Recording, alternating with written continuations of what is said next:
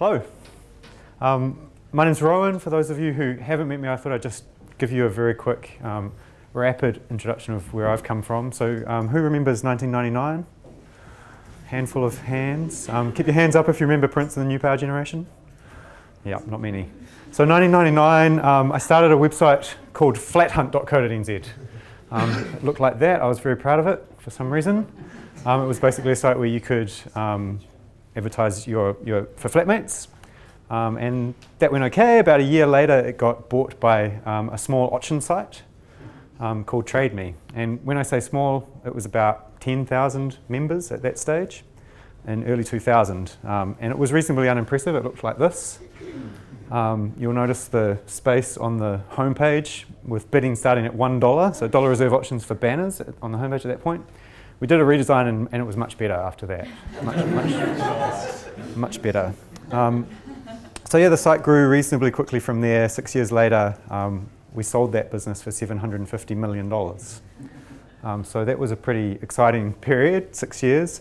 Um, about a year later, I decided I needed something different, so I went and worked for a small accounting startup um, that was just getting going.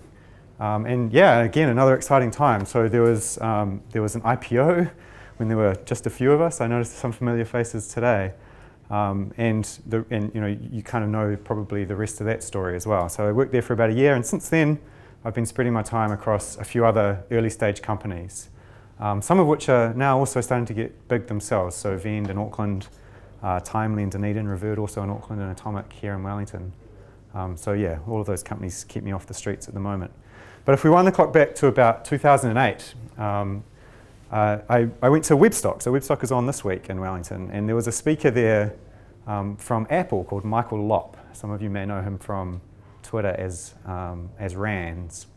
Um, and he gave a really great talk about the key to um, a successful product, a software product. And he said that um, any great team building a software product needs three people. Uh, they need a designer, they need a developer, and they need a dictator. Um, so I thought, I mean, I, that really resonated with me. I thought it was really, um, it was a really cool way of explaining it because I can design a little um, and I can code a bit. Um, that was sort of my background, but I'm not world class in either of those areas. But I was part of these teams that had had kind of built these these great products, and I realized that actually kind of the dictator role that he was talking about was more or less the role that I'd filled. Um, and so it occurred to me there's lots of information about how to be a good designer. If you want to be a better designer, you can seek that out. And there's lots of, there's tons of information about how to be a better developer, um, especially online. Um, but there's almost no information at all about how to be a good dictator. Um, so that got me thinking, you know, what does it actually mean to be a good dictator? And I think the first thing, the first thing we need to acknowledge is that um, dictatorship as a concept has some PR challenges. Um, it, doesn't, it doesn't have a great track record. Um, so, I mean, can anybody think of, of a good dictator? Maybe a more recent example. Fidel Castro. Arguably. It's not the one that I had in mind. I mean, probably the most recent example I could think of um, was probably the dictator that Michael Lopp had in mind when he gave his talk, it's Steve Jobs. Um, and he's obviously by no means perfect. He has had some major character flaws, um, but did some things right that I think um, we can learn from, or at least those of us who aspire to be better dictators can learn from.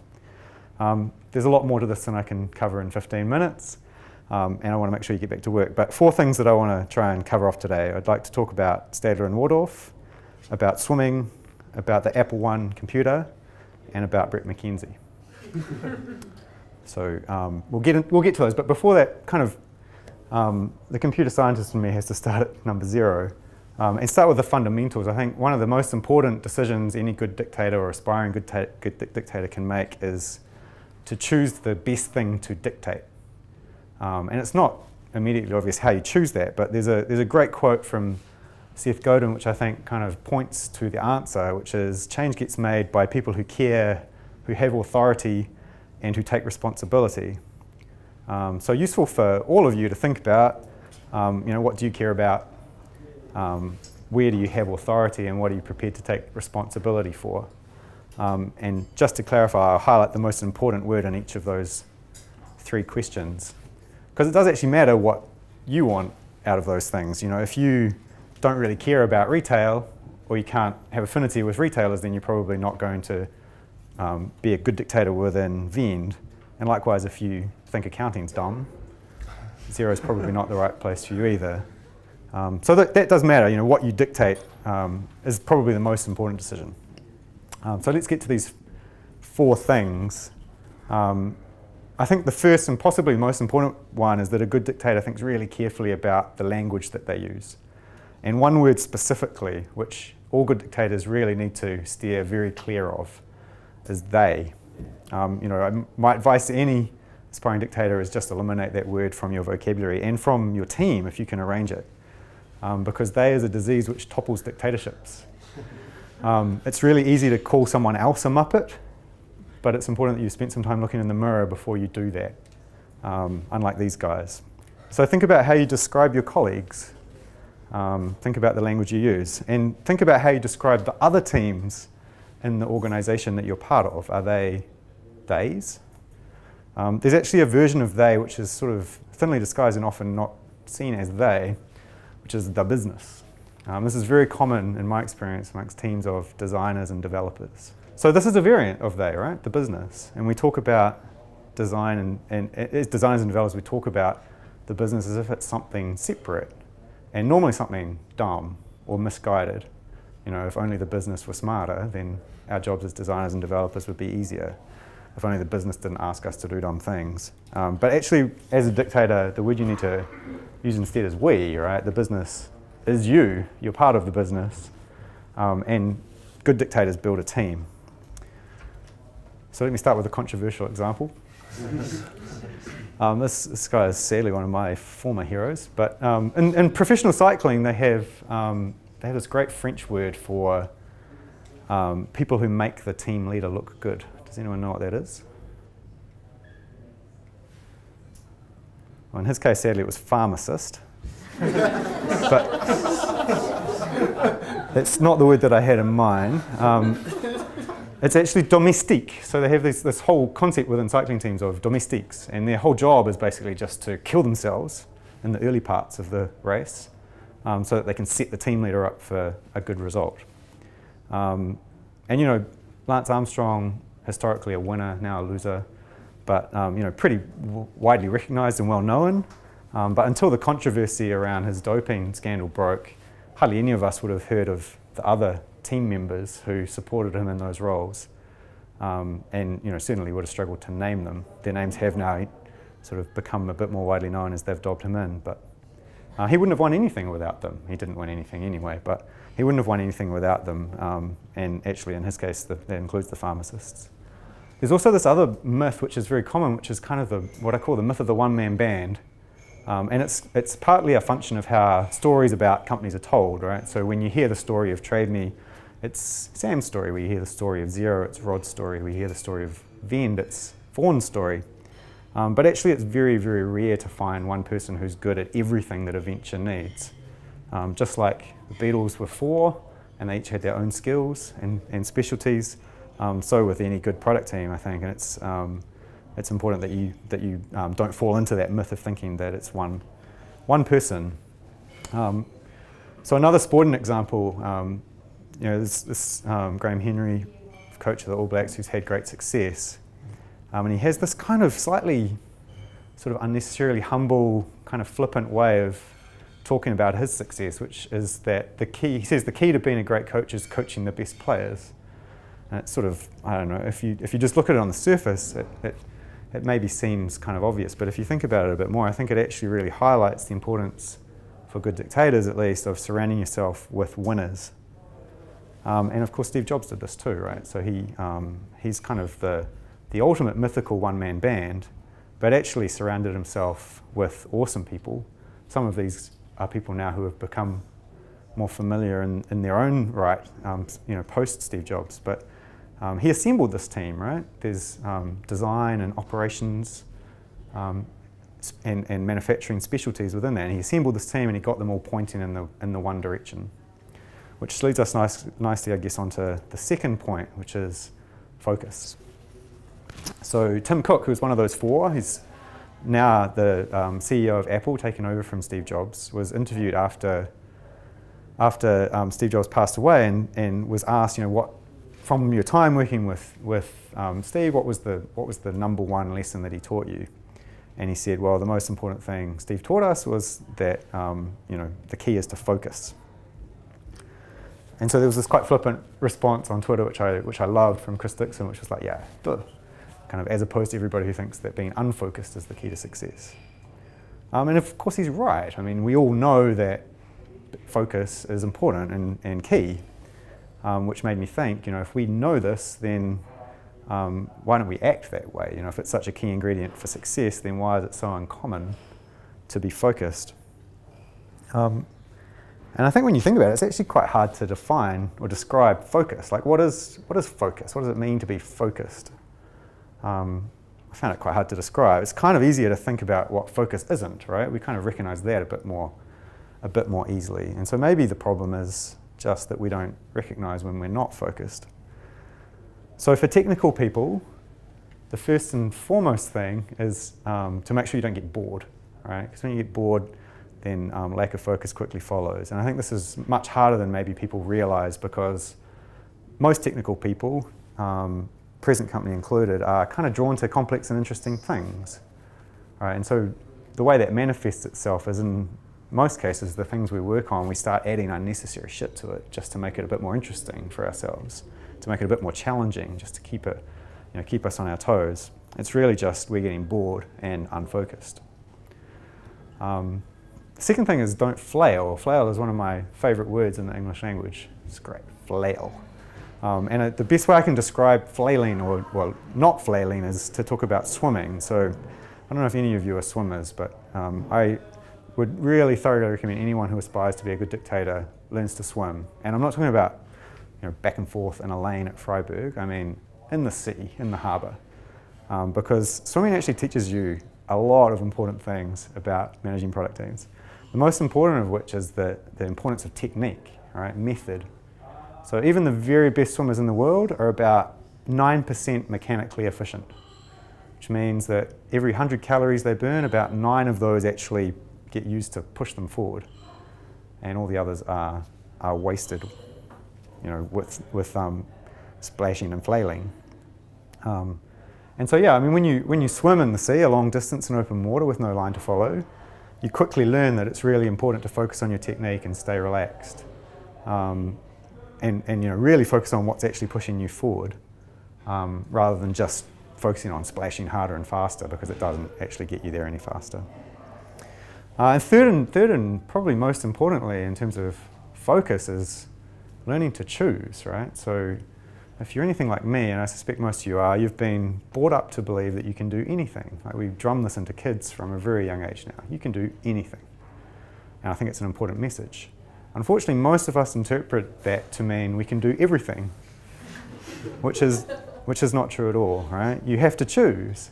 And focus means saying no. So think about, if you want to be a good dictator, what you're consciously saying no to in order to focus on the things that you want to say yes to. Um, to be a good focused dictator, I think the more that you can um, sort of align your satisfaction with actually shipping things, with actually, you know, um, getting things out the door the, and, and, focusing on that, the more that, um, that your success will be correlated with the success of your venture. So the third thing is innovation, or more accurately, execution. Right? So innovation is something that we talk a lot about, aspire to. Um, in New Zealand, we even have a government department named after it. Um, but very rarely do we talk about execution. Um, and I want to argue that actually execution is where good dictators should spend most of their energy. So this is a quote from Kevin Kelly, who is a great thinker. Uh, he was one of the original founding editors of Wired magazine. Um, and he says, sometimes the people who invent things and the people who find out what things are for are different people.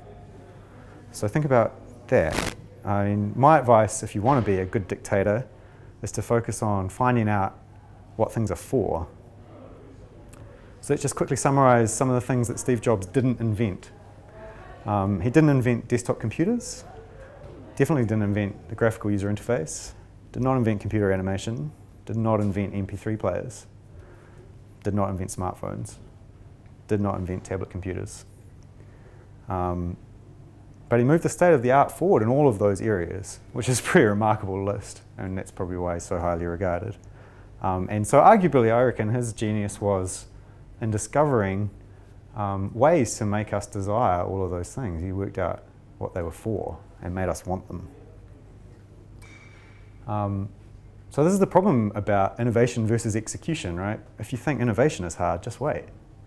Um, the difference between those two, by the way, is innovation is, is, is normally all about one insight, one kind of new thing, new insight that kind of creates a new thought or area.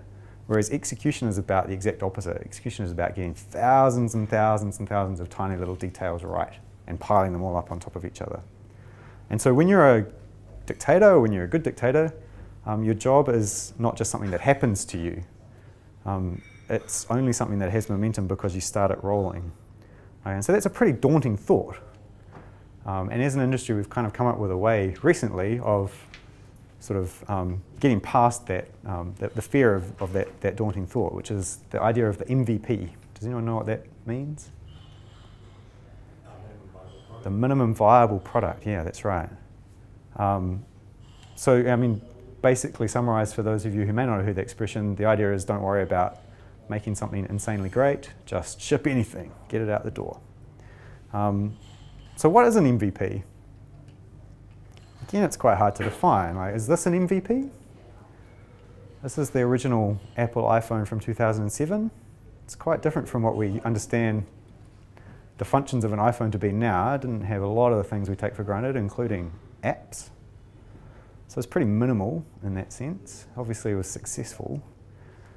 But is what we could call an MVP? Not really. I think unless you are, as Apple was in 2007, unless you have the resources of that company, you're, you're never going to aspire to this kind of product as your minimal viable product. I think to really understand that, you need to wind it back to Apple when they were more like the sort of ventures that we work for typically. Um, this is the original Apple computer, the Apple One, and it doesn't look much, does it? It's definitely a minimal viable product. Um, so obviously the definition of minimal viable product depends a lot on the resources that you have. And so if you're working for a small um, company, if you're working for a startup, often your definition of that needs to be reined in. Um, so my definition of a minimal viable product is even simpler than that. Um, it's anything that you can convince someone to use, uh, or even better, ideally, pay you money to use. Um, and so, I mean, that question of money is kind of an interesting thing. Most good, good dictators, in my experience at least, are not especially motivated by money. Um, but it is a great way for a good dictator to keep score. Um, you know, if you pay attention to what people will pay you for, then that helps you very quickly narrow your focus in on the products you need to build. Um, so it's worth thinking about sales and marketing um, and the language you use to describe those teams. Like if you're a team of designers or a team of developers, how do you talk about the sales team in your organization? Are they they or are they we? I'm going to guess it's mostly they. Um, and if you're working for an even smaller company and you don't have a sales team, then look around because you are the sales team. Um, you know, if there is no other sales, if there's no one else responsible for sales, you are the salesperson. Um, so Paul Graham, who's the founder of Y Combinator in the US, has a great question which he asks the companies that he works with, with which I think gets to the nub of this question, which is how are you going to overcome your obscurity? You know, at the moment, no one knows you and no one's heard of you, and how are you going to change that? Um, so, you know, if you want to be a good dictator, the question that should be front of mind is how are you going to market and sell the things you make? And last but not least, intersections. So Steve Jobs famously described Apple as being a company that exists at the intersection of technology and liberal arts. Um, and that was kind of a, a, a, really nice expression of the strengths of the company, but also his own personal strengths, right? He had, he had skills in both of those areas. Um, which brings us to Bret McKenzie. Um, so you'll know him as um, comedian from Flight of the Conchords, um, and a musician. This photo was actually taken the night that he won the Academy Award for Best Original Song. Um, but most of you probably don't know him as a dancer, and yet I'm, it's not my area of expertise, but I'm reliably informed that what he's doing there is a near perfect jeté, which is a dance move, which is kind of odd, right? So this photo was front page in newspapers around the world. It was kind of the picture of the Academy Awards that year that captured everybody's imagination. It's kind of odd that this comedian turned musician um, would be photographed dancing, but actually not. If you know a little bit more about him, his, his mother is actually a professional dancer. And so he grew up in her studio and was surrounded by dancers, and so it's kind of not surprising at all that he, he knows the odd move and can pull them out on the red carpet, which is even more impressive. Um, and there's a great segue to the story actually, which is I heard him interviewed on Radio New Zealand the morning after he'd won the Academy Award. And the interviewer was kind of gushing and, and said, um, you know, so you've had great success with Flight of the Conchords and now you've won an Academy Award. Like, you know, how do you follow that up? What are you going to do next? And just straight off the bat, he said, well, I've always wanted to be an All Black. who, doesn't, who doesn't want to be an All Black, right? Um, so, you know, back, back to you, I think the important thing here for good dictators to think about is, is, is how they can be polymaths, how they can you know, have skills in multiple areas. Um, if you're good at just one thing, that's probably not enough to be a good dictator. So think about the other things where you have um, some skills or authority. Think about the other things that you care about. They could be quite random things like dancing or comedy. Um, and think of those areas where you're prepared to take responsibility, like you know, where you're prepared to stand up. Um, because it's at the intersections of all of those things is where you're probably going to find the best opportunities for yourself to be a good dictator. So just to quickly summarize, um, focus on we, not they. I think good, good dictators, great dictators are only as good as the team that they surround themselves with.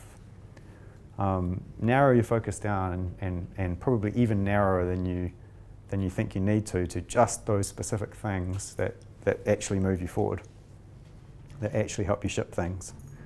Um, think about what you can sell um, and how you're going to do that. Um, and especially make sure you're matching that to the resources that you actually have. Um, and work at the intersections of the various things that you're good at. Um, and if you do that, I think there's no reason why you can't be a good dictator. So good luck with that.